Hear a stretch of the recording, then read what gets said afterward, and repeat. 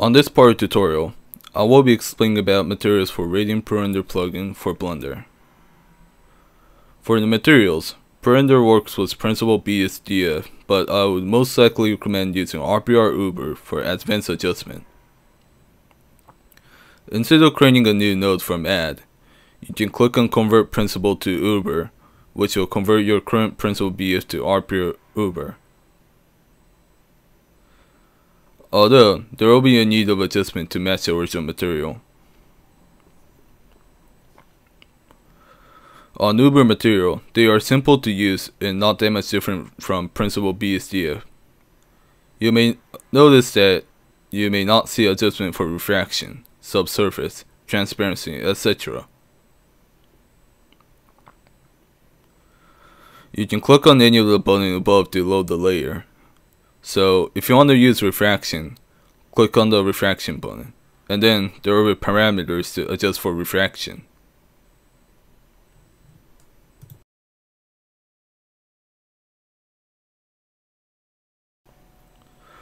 So on this part, I will now explain about the parameters.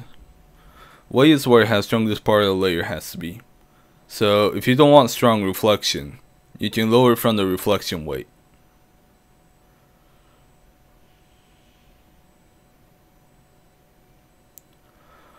Roughness is where it defines the surface reflection. If it's zero, it will be reflected like a mirror.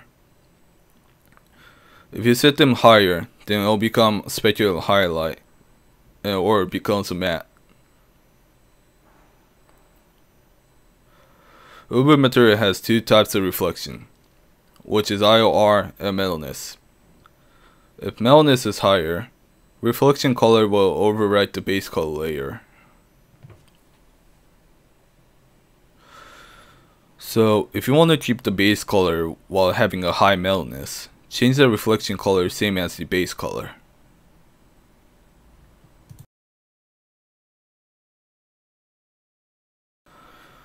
We will now look into the texture workflow. The workflow here will not change from the casual workflow. You can drag and drop the texture and connect to the node to create your material. For normals or bump map, Create a normal map or bump node and connect with RPR Uber material. After that, connect the texture to normal map node. For a normal map, change the color space to raw.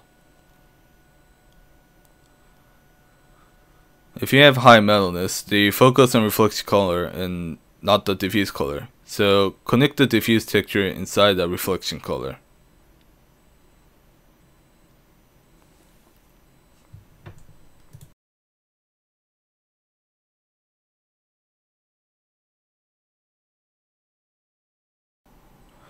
I will now explain about subsurface. By just clicking on subsurface on Uber material, you will get subsurface scattering easily. Right now the color is not matching the scattering color and the weight is too strong. First, change the subsurface radius to the same value.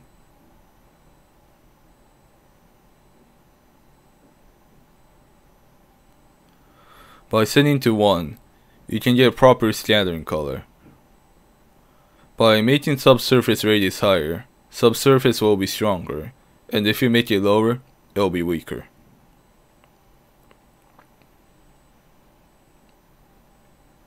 I will explain about the lighting on the next tutorial, but for subsurface adjustment, I recommend setting up a sun lighting instead of environment lighting to see some difference.